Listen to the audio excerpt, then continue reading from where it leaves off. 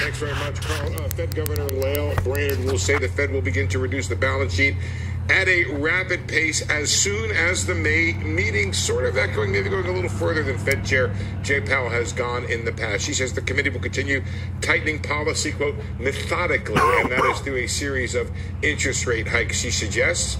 Um, of paramount importance, she says, is to get inflation down on the balance sheet. She says she expects to shrink, shrink the balance sheet more rapidly than the Fed did in a previous balance sheet reduction period, and that includes large monthly caps on runoff on the runoff. That is, the Fed will set a level for how much it will allow to run off. She's saying those levels will be large. They'll phase them in, but they'll get to them very quickly. All of this combined, the rate hikes and the balance sheet runoff will make policy quote more neutral. She says this year. That sounds like she wants to get around two percent, maybe a little bit higher on the funds rate.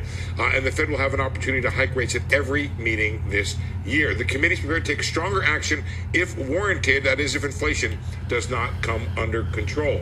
She says she's watching the yield curve for signs of increased downside risks and that the Russian invasion, along with the COVID lockdowns in China, create upside risks for additional inflation. At the same time, they create downside risks to growth. Finally, she says the U.S. economy has considerable momentum, so she seems to suggest it will not be all that painful, all this tightening she's planning. But very definitively, you know, Carl, she is the, um, I guess, still the nominee uh, to be vice chair of the board. So she's becoming more important in what she says, clearly out there, uh, telegraphing what we'll probably hear in the minutes tomorrow, and then again the actions that will be taken at the uh, May meeting, which seem to definitively now suggest the Fed will begin reducing the balance sheet next month.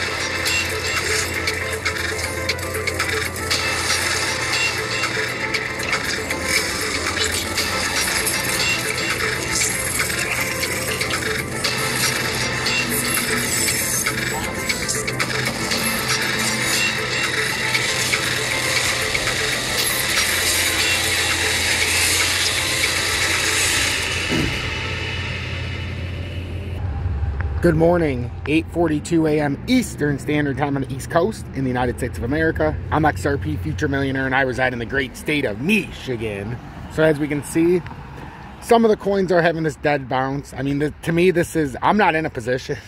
I'm letting this play out. I seen last night and I telegraphed this to everybody before I went to bed.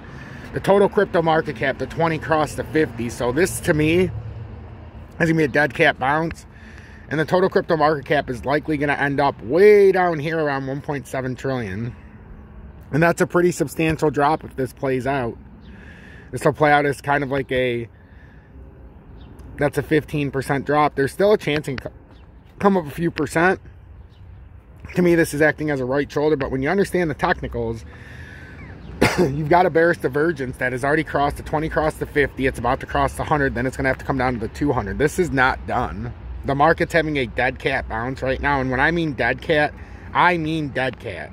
I see a lot of talk in the Telegram. Well, I've said everything I need to say in the updates and the live stream. So I, get more than willing to go into the Telegram and have a nice discussion, but I'm not going to go in there just to reiterate what I've already said. So make sure you're watching these updates because they're dead on the money. So with XRP, we're coming back up. We created a bearish divergence. I don't necessarily think this pattern's done because Bitcoin's not done. So I think the best we could have hoped for was that 804 touch. I don't even know if we can get up there. The volume has been atrocious. It's going to the shorter time frames. Look at that volume. That is puny.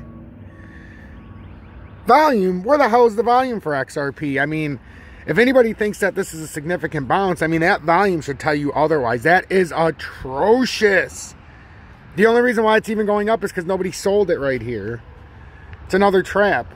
This might be able to get to 804 if you're lucky, maybe 81 cents. I don't know. I don't even think it's going to get that high. I think we're going to roll over quicker than most think today.